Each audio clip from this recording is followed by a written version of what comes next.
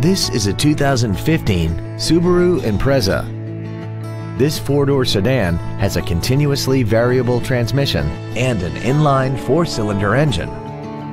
All of the following features are included. Traction control and stability control systems, an anti-lock braking system, a rear spoiler, energy absorbing front crumple zones, a heated driver's seat, and a trip odometer. We hope you found this video informative. Please contact us today.